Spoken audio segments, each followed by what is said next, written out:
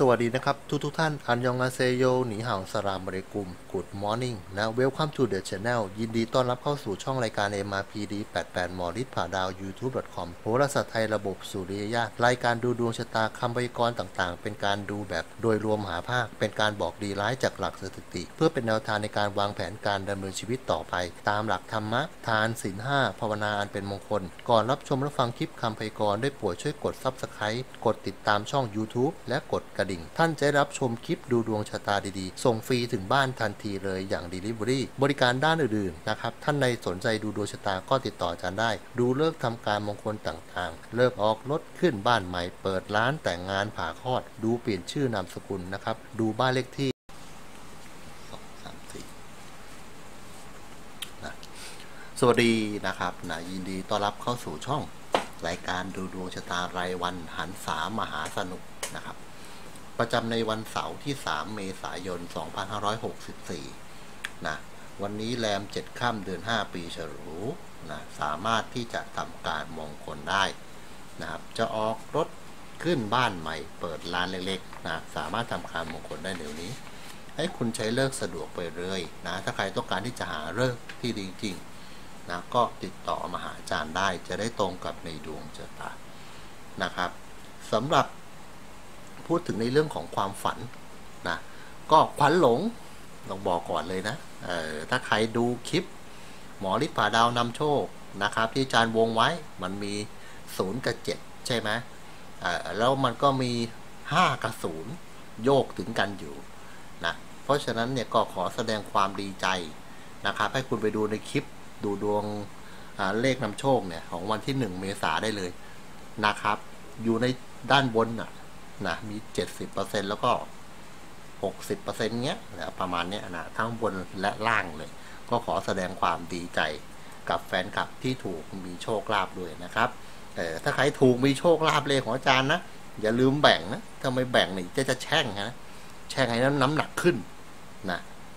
ขึ้นวันละโลสองโลเงี้ยเออกินให้ท้องแตกตายไปเลย โอเคนะ มาถึงในเรื่องของความฝันกันเลยนะครับ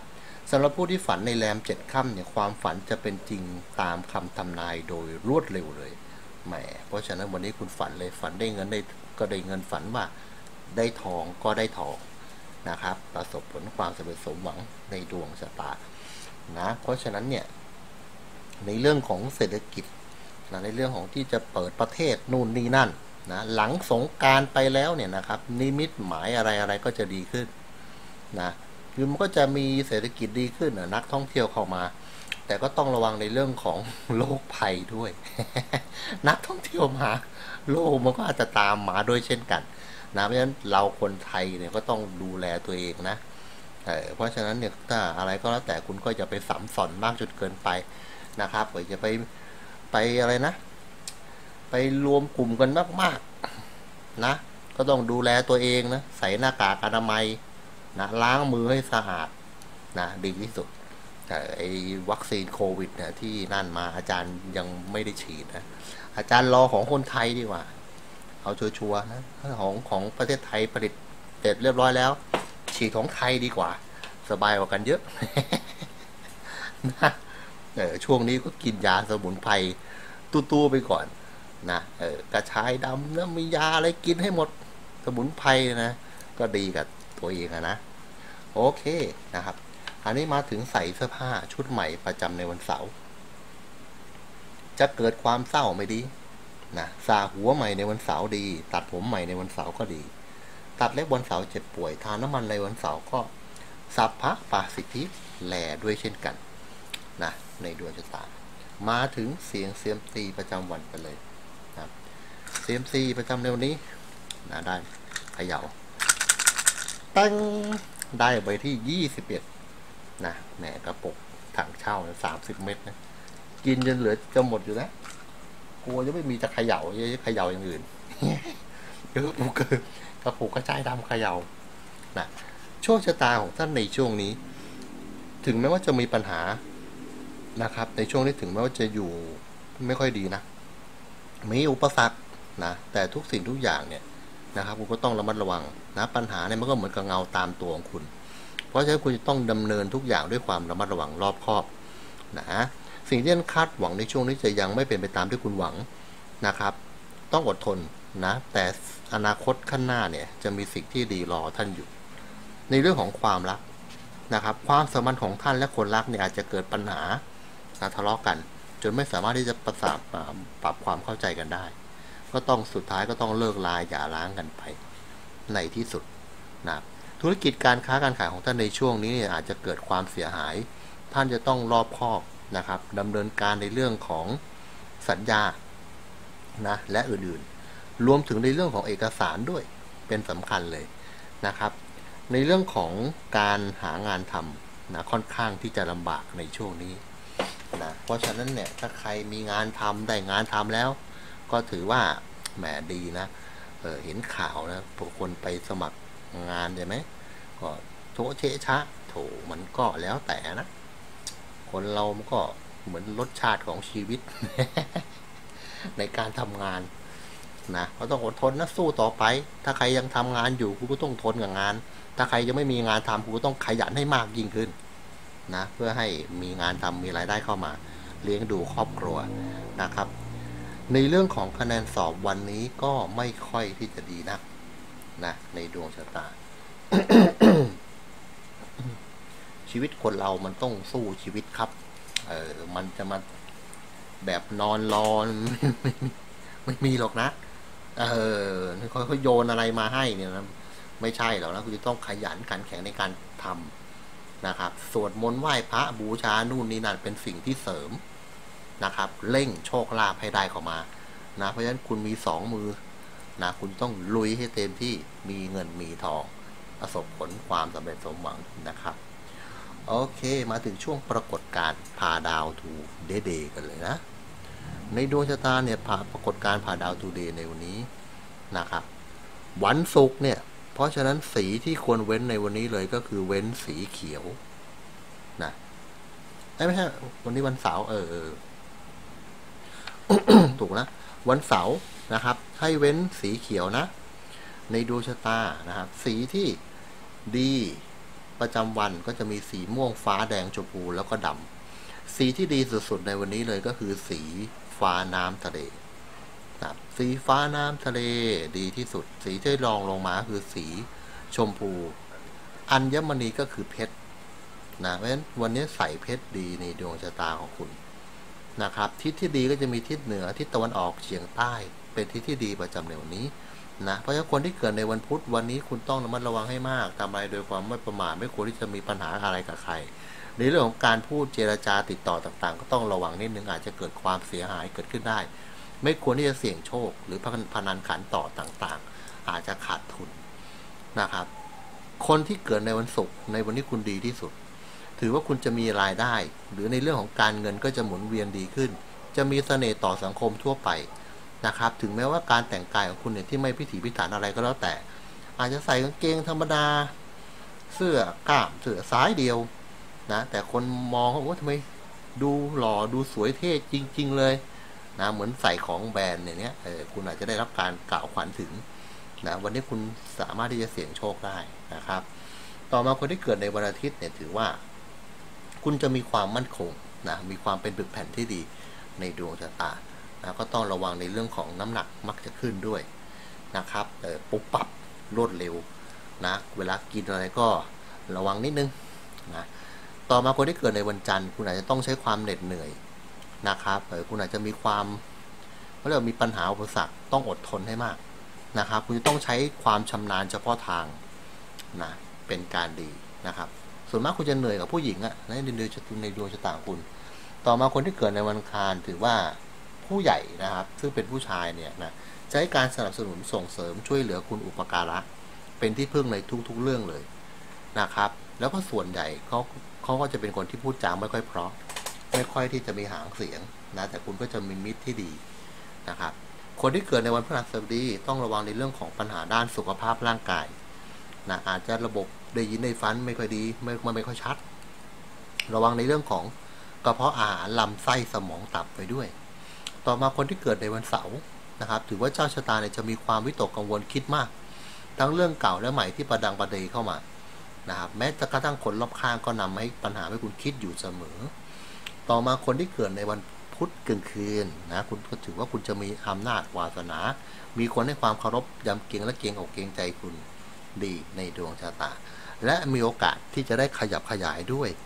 นะในดวงชะตาสำหรับคนที่เกิดในวันพุธกลางคืนในดวงชะตาของคุณนะครับเพราะฉะนั้นอิทธิพลของดวงดาวในวันนี้ก็จะมีดาวพระจันทร์ที่จะโคจรย้ายราศีดาวจันทร์จะโคจรย้ายราศีในช่วงเวลา8โมง22 นาทีนะ8โมง22 นาทีก็เข้าสู่ราศีธนู เล็งชาวลัคนาราศีเมถุน มีโอกาสได้รับการติดต่อสื่อสารต่างมีลาบปากนะครับวันนี้คุณอาจจะเหน็ดเหนื่อยมากเป็นพิเศษนะก็ต้องอดทนให้ดีในดวงชะตาของคุณนะและดาวพระจันทร์ก็จะติดพิษหน้านะครับ อย่างที่บอกติดพิษเนี่ยมันดาวไม่ดีอยู่แล้วนะถือว่าดาวเสียมีปัญหาไว้คุณต้องก็ต้องระมัดระวังในเรื่องราวต่างๆนะครับตั้งแต่ช่วงเวลา 14นาฬิกา20 นาทีเป็นต้นไป และให้ระวังไปจนถึงกี่โมงล่ะ นะครับเพราะฉะนั้นเนี่ยช่องของอาจารย์มีคำตอบให้กับคุณระวังไปถึงเวลา 19นาฬิกา58นาทีนะตีไปสองทุ่มเลยก็ได้นะในดวงชะตาก็ถือว่าดีนะครับ ดาวพระจันทร์ก็จะไม่ได้มีปัญหาหรืออุปสรรคใดๆในดวงชะตาคุณนะโอเคมาเริ่มต้นที่ชาวลัคนาราศีเมษนะครับ ชาวราศีเมษเนี่ยอิทธิพลของดาวเสาร์ในวันนี้การงานของคุณก็ถือว่าได้งาน นะเจ้าชะตาเนี่ยจะมีการบริหารจัดการงานบริวารก็ช่วยเหลือดีนะส่วนในเรื่องของการเงินก็ยังมีเกณฑ์การรายจ่ายต่อเนื่อง ไม่ควรที่จะเสี่ยงโชคนะครับ แต่ถ้ามันจะมีมันจะมีมาของมันเอง อย่างไม่คาดคิดไม่คาดฝัน ในเรื่องของความรักนะครับ บางคนก็อาจจะมีปัญหาเลิกราหย่าร้างกันนะเออบางคนก็อาจจะมีความลึกลับซับซ้อนในเรื่องของความรัก ในช่วงนี้ชาวราศีเมษคุณมีเกณฑ์ที่จะเป็นเมียน้อยนะ เพราะฉะนั้นก็ต้องระมัดระวังไว้นิดนึงนะครับ เมียน้อยอะแล้วถ้าผู้ชายอะผู้ชายก็ผัวน้อยมั้งเรียกว่าอะไรอะ กิ๊กเหรอ กิ๊กหรือแมงดา นะเออพวกมันแล้วแต่นะ เพราะฉะนั้นอยู่ในศีลในธรรมก็ไว้ดีที่สุดนะครับ ในดวงชะตานะเพื่อไม่ให้ใครที่จะมาด่าว่าดูถูกคุณได้นะถ้าคุณอยู่ในศีลในธรรมนะครับ สิ่งที่จะเตือนสติเตือนใจตัวเองคุณจะต้องมีคำพูดที่แรงๆกับตัวคุณ คุณต้องคิดซะว่า ตัวคุณไม่ใช่สัตว์นะคุณคิดไปเลย คุณไม่ใช่สัตว์ คุณเป็นมนุษย์นะคุณจะสามารถที่จะรักษาสิ่งห้าข้อได้นะครับแต่ถ้าคุณรักษาไม่ได้แสดงว่าตัวคุณเป็นสัตว์ ประมาณเนี้ยเอออันนี้คือสิ่งที่สามารถเตือนสติเตือนใจของมนุษย์ทุกคนได้นะครับจำไว้เลยตัวเราไม่ใช่สัตว์นะในดวงชะตา โอเคนะครับ ต่อมา ชาวลัคนาราศีพฤษภ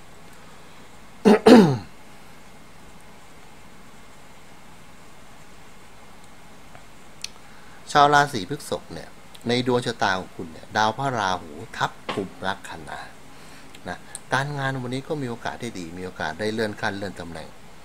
นะครับในดวงชะตาคนรักคู่ครองก็ดูแลเอาใจใส่คุณดีในระดับหนึ่ง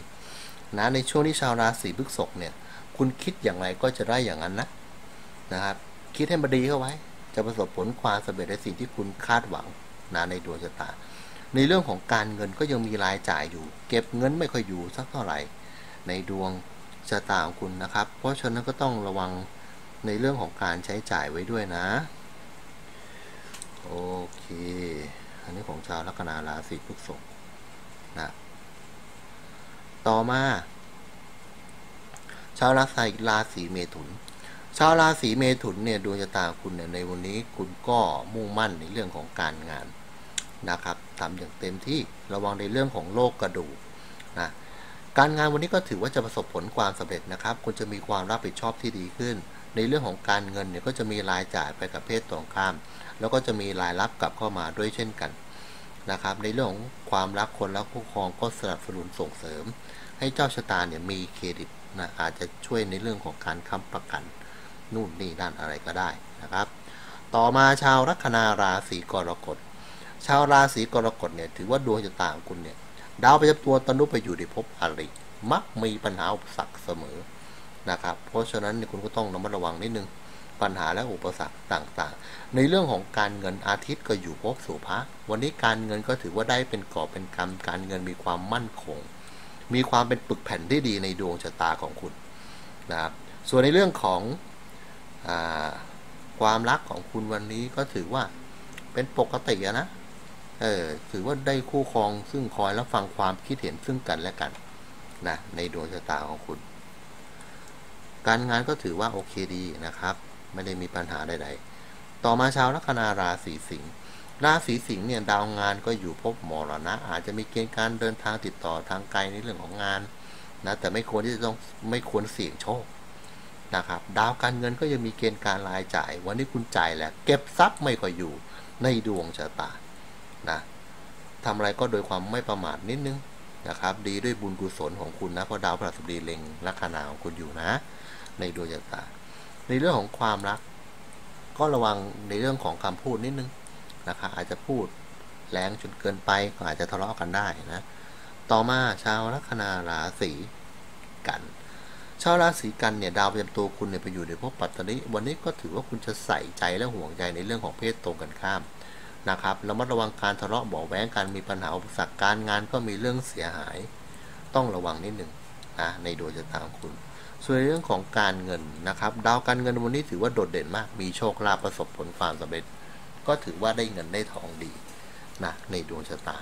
ความรักระวังคนรักเจ็บป่วยไม่สบายนะครับ ต่อมาชาวลัคนาราศีตุลราศีตุลเนี่ยดาวพระจันทร์ไปอยู่ในภพสหัชชะงานนะครับที่เกี่ยวข้องกับคนเยอะๆงานสาธารณะงานเกี่ยวข้องกับสังคมต่างๆ วันนี้คุณก็อาจจะเหน็ดเหนื่อยมากเป็นพิเศษ อาจจะมีความโรเรอะไรสักอย่างหนึ่งนะครับ ดวงของคุณเนี่ยในเรื่องของความเสียหายนะครับ มันไม่ได้ส่งผลกระทบอะไรมากมาย ถือว่ามันก็ดับไปในตัวในดวงตาของคุณไม่ได้มีผลอะไรมากมายนะในเรื่องของการเสี่ยงโชคไม่ควรที่จะเสี่ยงโชคนะในโดยต่างคุณ การเงินมันยังมีเกณฑ์การรายจ่ายต่อเนื่องนะครับก็ต้องระมัดระวังไว้นิดนึงนะความรักคุยกันให้น้อยๆเข้าไว้นะครับ ต่อมาชาวลัคนาราศีพิจิก ชาวราศีพิจิกเนี่ยดวงของคุณเนี่ยนะดาวประจำตัวไปอยู่ในภพปัตตานีคุณก็ห่วงใจใส่ใจเพศตรงกันข้ามนะครับคู่ครองก็มีเกณฑ์การแต่งตัวดูดีขึ้น อาจจะไปเสริมจะไปทำศัลยกรรม ไปเสริมอึมให้ดูดีขึ้นก็ได้นะในดวงชะตาคุณ ในเรื่องของงานวันนี้ก็ถือว่าดีมีความมั่นคงนะครับ การเงินก็ถือว่าจะมีผลกำไรที่ดีเพิ่มมากขึ้นนะต่อมาชาวลัคนาราศีธนู ราศีธนูเนี่ยดวงชะตาของคุณนะให้ระวังในเรื่องของสุขภาพร่างกายอาจจะมีปัญหาอุปสรรคนะให้ขอพรจากสิ่งศักดิ์สิทธิ์หรือองค์พญานาคจะมีโชคลาภเข้ามา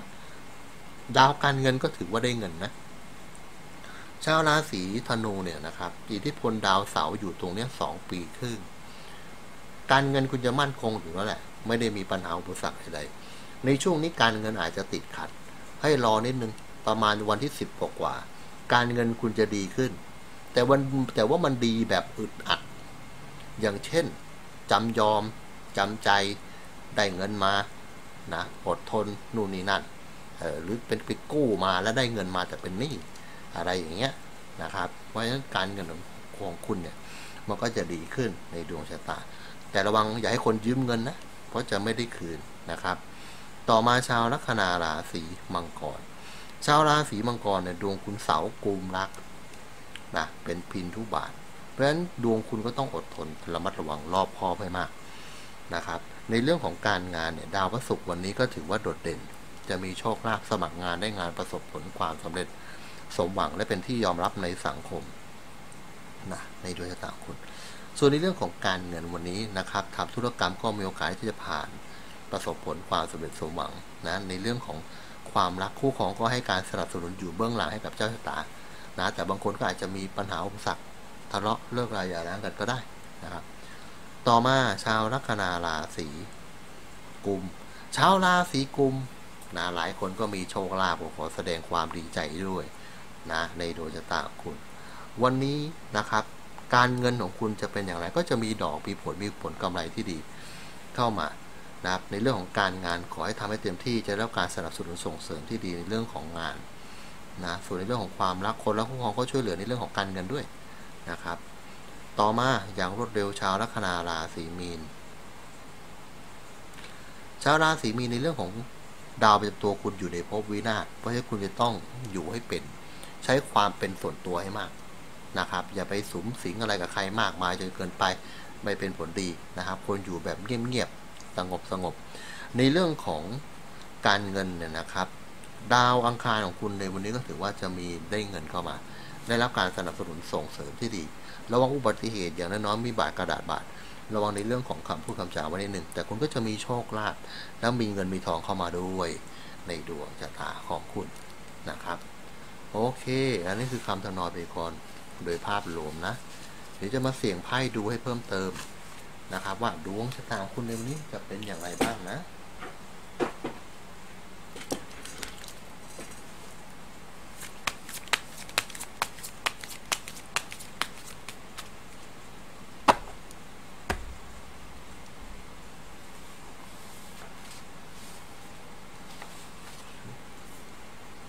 ชุด